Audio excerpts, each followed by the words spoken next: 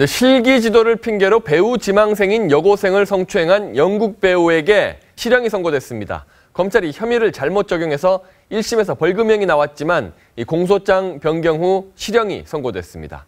이재준 기자입니다. 대법원은 미성년자를 추행한 혐의로 재판에 넘겨진 연극 배우 정모 씨에 대해 징역 10개월을 선고한 원심을 확정했습니다. 정 씨는 지난 2001년 여고생 A양에게 노래와 연기를 가르치면서 입을 맞추거나 옷 안에 손을 넣은 혐의로 기소됐습니다. 정 씨는 배우가 되려면 고정관념을 깨야 한다며 자신을 아이로 생각하라고 하고 입을 맞춘 것으로 드러났습니다. 검찰은 19차례 추행에 대해 아동 강제 추행 혐의를 적용했지만 1심 법원은 한 차례만 유죄로 인정된다며 벌금 1천만 원을 선고했습니다. 추행은 맞지만 강제성이 없다는 이유였습니다.